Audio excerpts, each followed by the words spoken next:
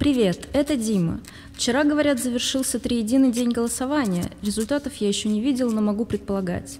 По телевизору Памфилова рассказала, что выборы прошли без значительных нарушений, а Путин призвал граждан проявить свою гражданскую позицию.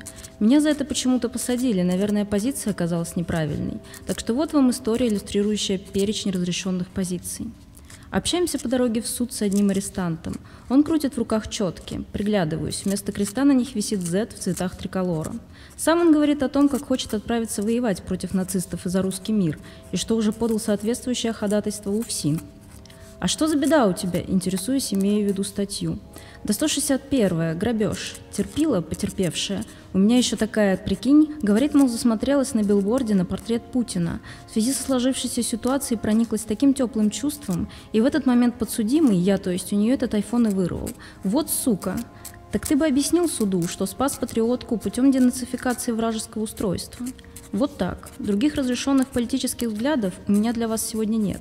Впрочем, эти, как видите, не дают никаких гарантий. До суда я в тот раз так и не доехал, вышло очень неудобно. Всех пригласил, а сам не пришел. В следующий раз постараюсь, как будто это от меня зависит, доехать. Тимирязевский суд, 21 сентября, 14.00. Всем мир.